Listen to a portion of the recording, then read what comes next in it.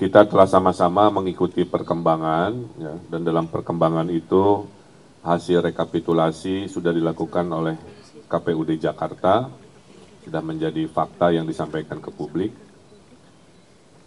Walaupun materi gugatan ke MK sudah siap, ya, karena kami menemukan banyak sekali fakta, ya, banyak sekali substansi dan temuan-temuan yang perlu diklarifikasi dan konfirmasi.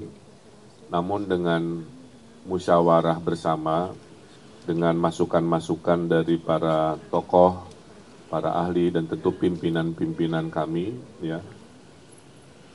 Dan demi pembelajaran demokrasi yang damai, kondusif, dan juga simpati kami kepada warga Jakarta yang mungkin sudah lelah ya dengan rentetan pemilu-pemilu yang panjang. Akhirnya pasangan Ridho memutuskan untuk menerima hasil Pilkada Jakarta yang telah ditetapkan oleh KPUD. Dengan begitu kami mengucapkan selamat kepada Mas Pramono Anung dan Bang Rano Karno yang akan memimpin Jakarta di lima tahun ke depan Terima kasih untuk kompetisinya yang menjadi pembelajaran dan kami mengaturkan terima kasih juga ke Pak Dharma Pongrekun dan Pak Kun Wardana yang juga bersama-sama berkompetisi dengan kami. Uh, Mudah-mudahan untuk Mas Pram dan Bang Rano bisa amanah memenuhi aspirasi warga Jakarta. Kami izin menitipkan aspirasi-aspirasi yang datang kepada pasangan Ridho ya.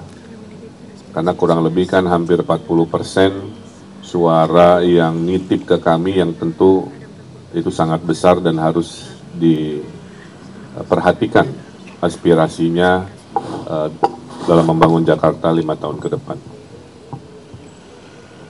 Rekan-rekan media sudah melihat dalam perjalanan pilkada ini pasangan Ridho, khususnya saya dan Pak Suswono, sudah berikhtiar ya sudah melakukan uh, kerja-kerja pilkada dengan cara yang baik.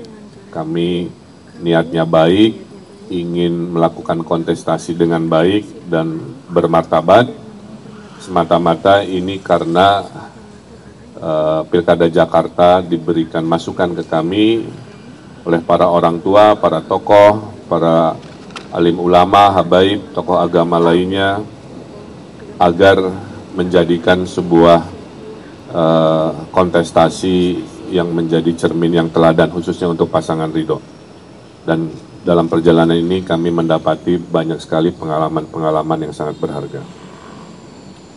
Kemudian tentunya ini karena kerja besar, bukan hanya paslon, kami mengaturkan terima kasih satu kepada partai pengusung dan pendukung, kemudian para tim relawan dan tim ormas yang juga sudah bekerja luar biasa, tim internal dan para tokoh-tokoh yang sudah membersamai kami. Kami mohon maaf jika ada kekurangan kehilafan yang terjadi ya dalam proses pilkada ini.